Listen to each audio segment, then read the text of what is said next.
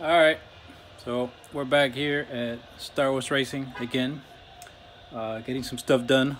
Hopefully, getting ready for Palm Beach. So this weekend, I'm moving my uh, all my gauges from all the way there to all the way in front of me because I you know, I can't see those things over there.